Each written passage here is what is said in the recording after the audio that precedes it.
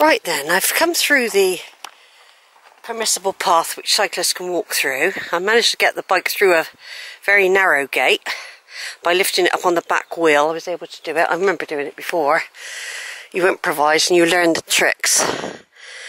Um, now, what I've this is the first time I've been out and experienced a wild garlic this year. And I know Longwood would be absolutely amazing. But I know I'm going to miss it this year. But it doesn't matter. I call it a fallow year where there's lots of places I can't get to. Uh, especially Longwood this time of year is magnificent. But so are lots of other places. So there's an old track going down there.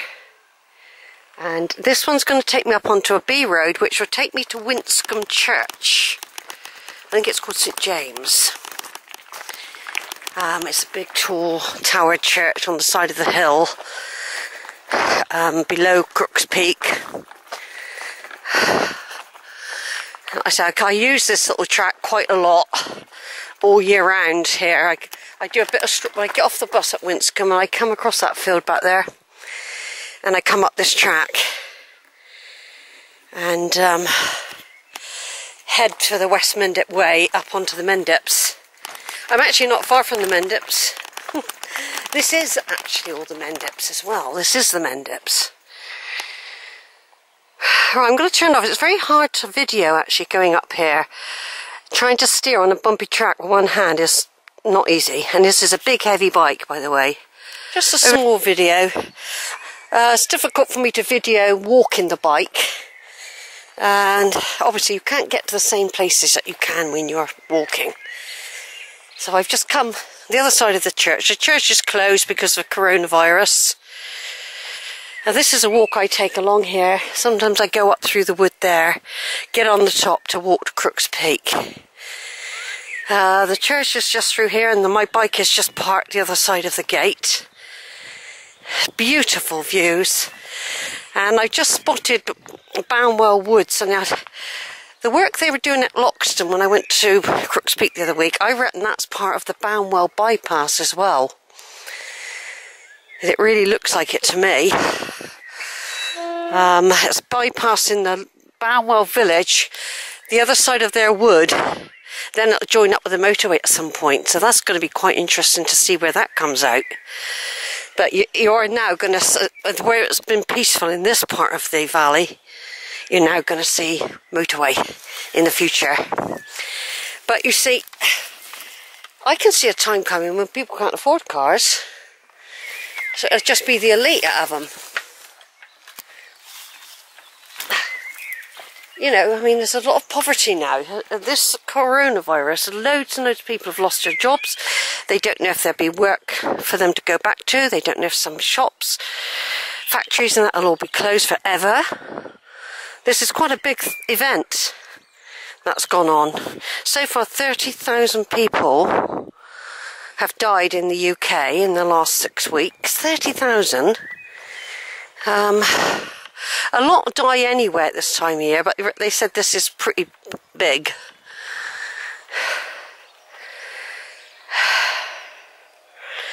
So I've seen um, a Lockwood grave there, something Lockwood Thornton or Thornton Lockwood down there. I, I, would have noticed it before. But there we got the um, the hills, the other side of um, that I climb up and go along. Um, that would take you eventually to Sandford and the um, Rowberrow and all that. Over that way, all those walks I do. Uh, I had a view of the Banwell Castle a minute ago. I took a photo of it. Um, yeah, Thomas Lockwood Thornton. Yeah, I've taken a picture of it. It's, uh, it's just back there. Now, when I was at Christon the other two weeks ago nearly, I looked, so I could just about make this church out. So so far I've got to go yet, but it doesn't take long. It's straight up that valley. Then I'll climb up, and then I will have a bit of a climb where I go across a bridge, and it'll take me to Christon. And then I, I'm not going to Loxton. What I intend to do is climb up Western Lane, the Bluebell area, I'll push the bike up it. Basically, I'd love to come down it on the bike, but I'm going to go come back to Weston via the Roman Road. So we've got Banwell Castle over there. I'll just zoom in. It's in the little dip there. There's Banwell Castle. Look, lovely, great big driveway up to it as well. And I know a nurse friend of mine who got married in there. She didn't invite me though, but no, we hadn't, I hadn't seen her for years. She just told me. There's a Banwell Wood, I believe, which is what I want to go in. But over there, because they said Hinkley Point, I well, Hinkley Point have got signs up at Loxton where they're doing what looks like a road, and that certainly looks like a what I would say was the Banwell bypass going on. So that's obviously going to cut right the way through and join up with that other road at Loxton, I should imagine. See, if you don't come out and have a look round, you won't know any of this. So instead of a nice peaceful valley there, the motorway is down there somewhere, so it's the, mo the motorway is somewhere around there, or is it the other side? I get muddled up sometimes. But all I know, I'm going to be heading further up the valley in a minute. I'm just doing a bit of videoing while I can. I'm going to stop now. But it's a beautiful, beautiful, peaceful graveyard, isn't it here? Lovely with the with all the wild flowers growing. Yeah, I'm sure there's people, somebody I've been doing that's buried in this churchyard. Um,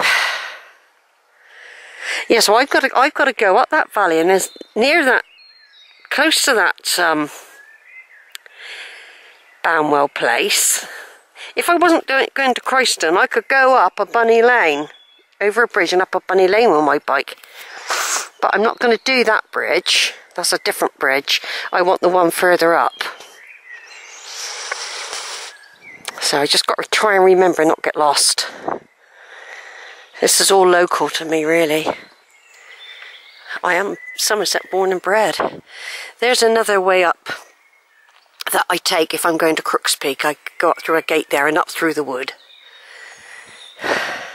Over and out then, everyone. On a beautiful spring day. I think it's May the 5th.